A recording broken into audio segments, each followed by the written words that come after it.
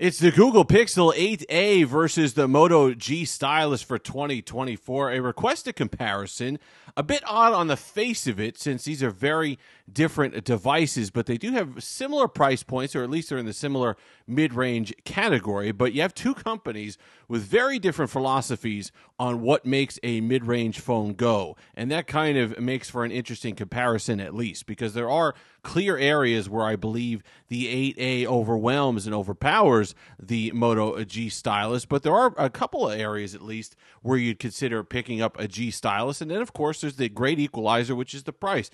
499 over here at least for the moment on the Pixel 8a and then you're looking at 399 for the Moto G stylus. Now, both are going to have carrier discounts, but rather aggressive ones. I do believe over the course of the year, the Moto ones will be even more aggressive. As we've seen, kind of like two hundred dollars through Metro PCS already, a few bucks a month. AT and T will have it.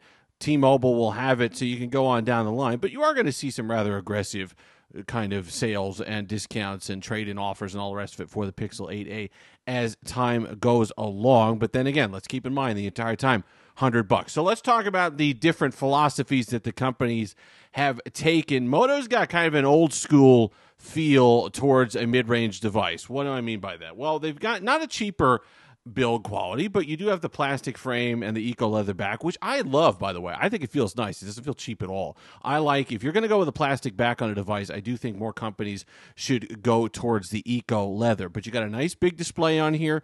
You've got a 6.7 inch OLED display, POLED, which is good. So it means the bezels don't have to be oversized in one area. You're not going to have a huge chin on this device. So, really nice display. But where it falls apart is software support, stuff like that. So, that's an old school kind of mid range mentality. But then again, you're saving 100 bucks over here. And but with that, with that kind of old school mentality, you do pick up a headphone jack and a micro SD card expandable storage. So, that is something that a lot of people see as a selling point for devices. If you're somebody that carries around a lot of photos on the go with you, you have PDFs, you have whatever else, movies and stuff like that. You like to watch stuff in airplane mode or you travel a lot. Then an SD card slot is important for you. So, what is the Pixel pickup for that extra hundred bucks? Well, Google's philosophy for a mid-range device has come a long way from the 3A and specifically the 6A.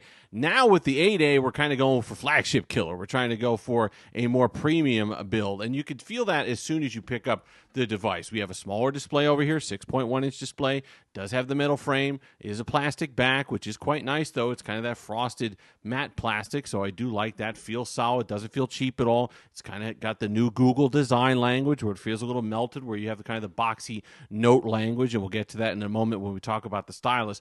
But display over here, also a nice display, not as bright as the Moto, but you still get a plenty saturated display and nice contrasty display as well as we turn stuff off here. 120 hertz on uh, both of these. Uh, google has really stepped up and done a good job with their displays. So when in the past this display the moto g stylus to say probably would trounce the pixel 8a display. That is not the case anymore. You're both getting 8 gigs of ram here software uh, uh, when it comes to a chipset performance wise you're going to get better performance out of the uh, tensor 3 in the google 8 uh, google pixel 8a the snapdragon 6 gen 1 is perfectly serviceable in the moto g stylus. If you're getting it for $200 less if you're getting it for $100 less i think you're going to be plenty happy. Gaming's possible at decent frames.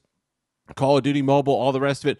Processing daily tasks you're never really going to notice any slowdown where the Pixel kind of uh, pulls ahead in performance, more intensive stuff. If you're doing on device AI stuff, if you're doing photo video editing, this is where kind of the tensor comes good in the Pixel 8a, and you're really paying for that extra processing power. But if you're making a decision between these two devices, then you kind of know what you need, right?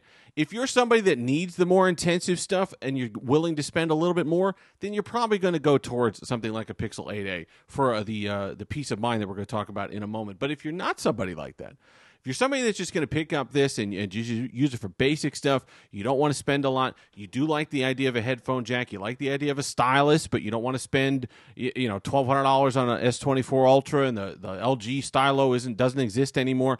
These are reasons why you'd kind of go towards the uh, Moto G stylus, and there are plenty of reasons to enjoy that stylus. I like it a lot. First of all, they put it back on the right hand side of the device, which I think is where it should be Samsung. But you get a lot of things for it. You really get a lot of functionality if you're somebody who uses the pen. You get the calculator thing, which whatever. But GIF Maker, believe it or not, it sounds silly, but I use it a lot. Screen write, you're signing stuff. I don't know how many times I don't have a pen and paper around and I need, you know, I'm on a desk phone or something like that, or I'm on another line, and I need to just quick jot down a number. It's so useful to not have to unlock anything, not have to do anything. I don't know if I could do it now that I'm in this, but you just pull out the pen, it recognizes it, and it sends me into a mode where I could just jot down a number. I use that two or three times a week. So don't discount stuff like that, those little Moto extras. Plus, you got the Moto gestures. My UX is a relatively clean install of Android, so there's not a whole lot of difference there. But one year of major upgrades of Android, three years of security updates. This is where you get a situation where the Google Pixel 8a really takes an advantage. Seven years of upgrades, seven years of software support, seven years of Pixel extras and whatever else. Now, will you get the latest and greatest AI stuff? Always? Probably not. Probably not. But you'll get enough of it. You get the Pixel extras, you get now playing, you'll get all the things that you like, plus the camera, right? Camera trounces the camera on the Moto G stylus. Battery life is the other way around. The Moto G stylus trounces the Pixel 8a on camera. We're talking about two hours of screen on time difference between these two. Charging is faster on your Moto G stylus. You're talking 30 watt charging versus 18 watt snail charging on your Pixel 8a. So you see, they kind of go back and forth a little bit.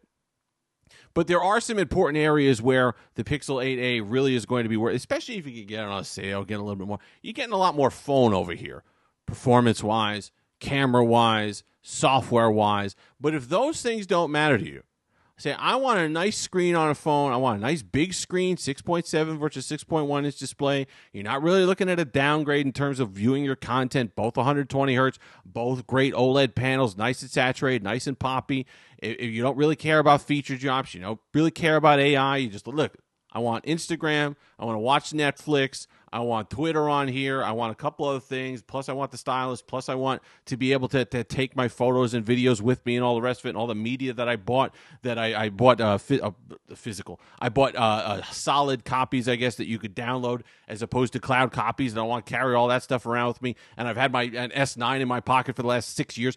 These are things that you think about, and these are reasons why you'd maybe pick up a Moto G stylus. And I really, like I said, if, if you're going for a budget device at this point, or a mid range device, I should say, and you want to go for a plastic build, I really now the, the frosted uh, the frosted plastic really nice on the Pixel 8a, but I like the Vega. The, oh, sorry, you can't say that anymore. I don't know why. Eco leather backing on the Moto G stylus feels premium, looks really good. I think there's a lot here. I wish Moto would offer more support. I think it would really come in strong against the 8A if it just offered more software support. They don't do a whole heck of a lot to the uh, the OS anyway. It's not like they heavily skin my UX. It's not like it's, it's a massive project for them to come out with new features. Yeah, it's not like they're coming out with new features every year either. New you know feature drops? No, forget it. Feature, uh, Moto's never heard of a feature drop. So you got your gestures, like it or, or leave it.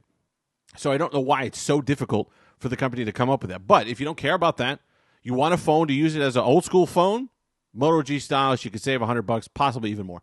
If you want to take that next step into what mobile computing and, and, and smartphones are going to be into the future, the Pixel 8a gives you more of that experience today, and it gives you more peace of mind and future proofing against that in years to come. You got seven years of updates, AI, Gemini Nano, blah, blah, blah, all the way down the line. Okay. So there's reasons why you pick up a Pixel 8a. But if you don't care about any of that, save a hundred bucks. This is a pretty darn good phone. If you've made it this far, like, comment, subscribe, all that fun stuff. Until next time, have that Stevealicious day.